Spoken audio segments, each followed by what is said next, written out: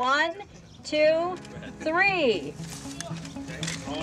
What's really exciting is the way we look at it, it's really a new breed of housing in America.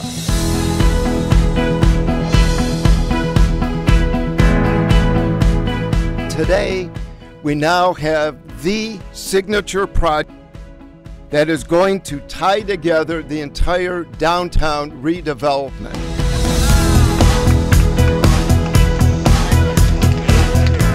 We are in uh, downtown Skokie. Skokie is a uh, inner ring suburb of Chicago. This development is really part of a, a larger trend, and that's really the, the urbanization of suburbs.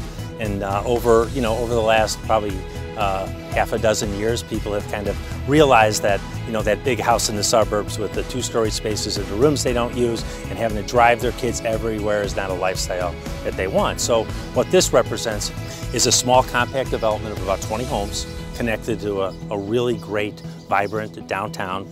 Floral Avenue provides a incredibly affordable housing option for someone who wants to be close to downtown, walking distance to amenities, and to live in a great community. It's important to the village of Skokie because we have not been able to generate very many single-family home developments in, in recent years. We're a fully landlocked, developed community. Streetscape brings some very unique ideas. We like to think of ourselves as a community that is green.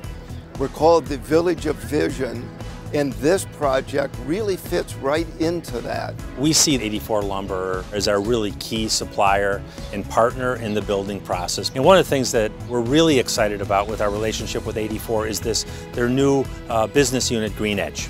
84 started its green initiative uh, in the middle of 2000. Uh, this initiative is um, designed to help uh, customers and builders alike who want to build uh, sustainability, responsibility, um, and eco-friendliness, if you will, into their homes. From a customer standpoint, dealing with 84, it's kind of a one-stop shop.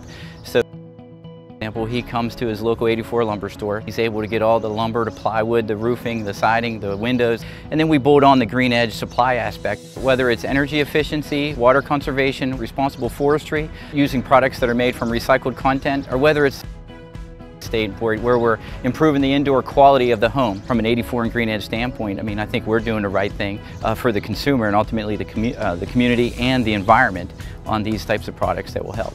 The 20 houses are a small John McClendon, the owner of Streetscape, is trying to do.